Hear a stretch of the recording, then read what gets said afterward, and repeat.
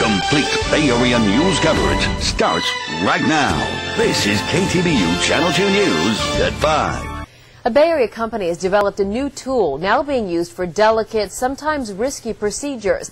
It's a computer-driven robot called a CyberKnife, and it's changing the way doctors are approaching invasive surgery, even making them outpatient procedures.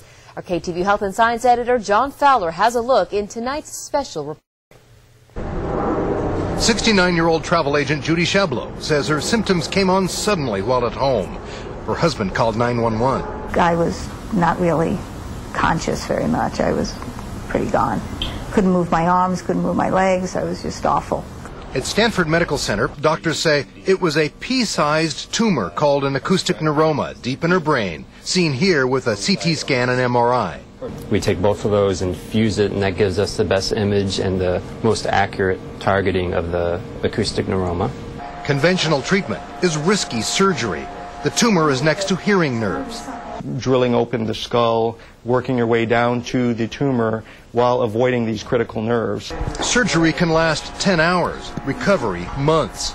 But today, Judy, wearing a stabilizing mask, is being treated in just minutes by a computer-driven robot called a CyberKnife, which shoots precise timed beams of radiation at the tumor. To uh, ablate it or, or destroy it, uh, and there is no hospitalization, there's no 10 hours of surgery, there's no downtime for the patient. They can leave the CyberKnife and go golfing, go out to dinner. The CyberKnife is developed by Accuray of Sunnyvale, where the company let us in to see its latest version. They have turned off the radiation. It's almost like an automobile assembly line robot. It gives the doctor remarkable flexibility and it tracks the motion of the patient, even breathing. So the accuracy of radiation to tumor is less than a millimeter. More precision to the tumor, uh, greater sparing of normal tissue around the tumor from the side effects of radiation.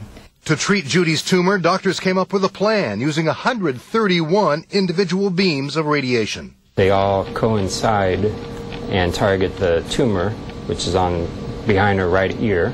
That way, the full dose is delivered to the, the tumor and the rest of the brain is minimized.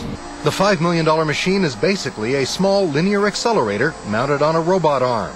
Judy had three half-hour cancer treatments. Some patients need only one. Her only complaint, she wanted Western, not classical music. I feel fine. I feel great. Or this uh, acoustic neuroma with the CyberKnife radiosurgery, our ability to kill the tumor and prevent it from growing is, is approximately 99%. And in five minutes, Judy was off to lunch. Health and Science Editor John Fowler, KTVU Channel 2 News.